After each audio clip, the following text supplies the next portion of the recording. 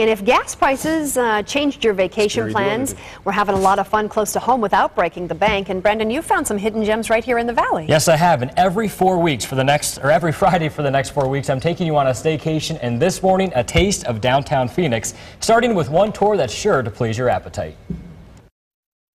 If you've been downtown, you know it has sports, museums, and performing arts covered. But for a unique experience, take your taste buds on the Taste It Tours. This culinary adventure takes you on a walking tour of downtown, stopping at multiple unique restaurants where you get to satisfy all of your food cravings.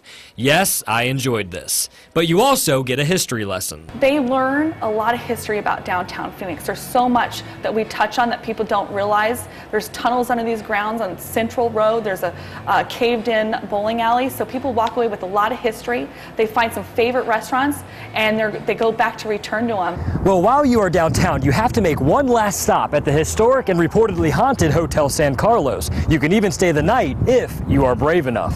Opened in 1928, this Italian Renaissance style landmark operates as Phoenix's only historic boutique hotel, and some consider it a cornerstone to the boom of downtown.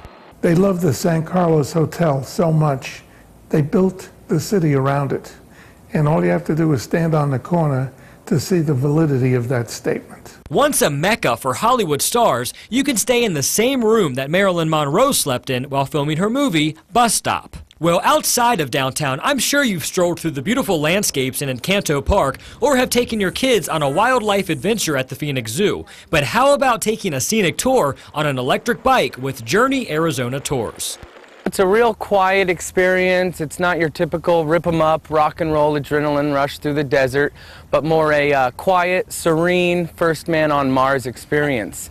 Luckily, I still knew how to ride, but whether you go off-roading on well-maintained trails through the most unique desert landscape or choose to cruise through the city, Journey Arizona Tours is your ticket to explore Phoenix.